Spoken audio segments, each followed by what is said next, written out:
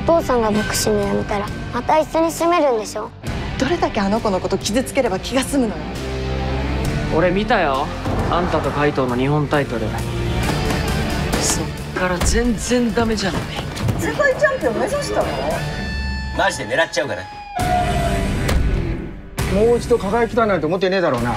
私としたいの。これ以上みっともないとこ見せないでよ。お前もう二度とボクシングすんじゃねえよ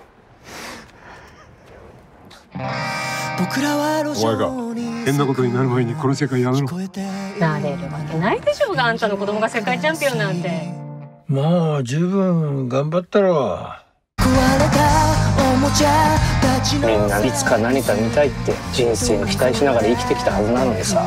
万が一片目が見えなくなってもこっちの目でカナも赤ん坊も見えるよ。あと僕だね。